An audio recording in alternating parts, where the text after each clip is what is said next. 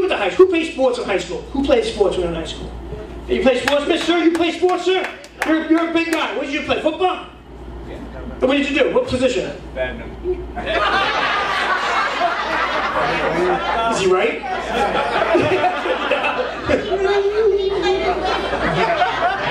you played what?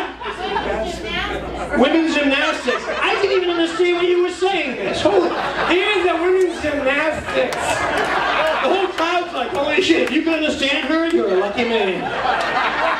Uh-oh, she just stood up. Oh, is. Semi-finals Olympics? And the balance beam. Sir, I hope she's lying because right now, I'm like, your life is completely over right now. You do not look like a gymnast at all.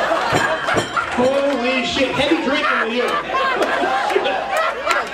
oh my god. If that's what an Olympic champion looks like in like 20 years, get the hell out of here.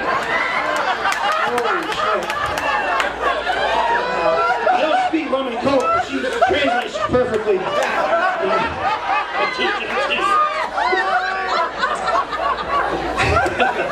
so what sport? What sport did you did you play, sir? What sport did you play? Football. Football. So you were good. Were you? But here's a question: Were you good varsity? Yeah. see?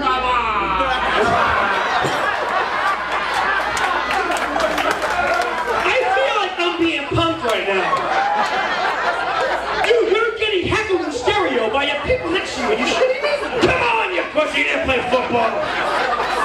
Who said that? The guy with the pink shirt. Who are you, sir? A tight end? You son of a- Don't give me. The only guy wearing a pink shirt him. Well, then again, I don't know. Look at your shirt. You look like Jimmy Buffett, like times two. You know, this is the weirdest friggin' show I've ever seen. We come here, we go, you gotta be clean, don't say nothing, don't even say boo, don't say shit, you wouldn't turn around, I thought. I come in, we find out she doesn't shave because she missed her appointment, he's wearing pink shirts. These people here are horrified right here going, oh my god. Holy shit, what happened?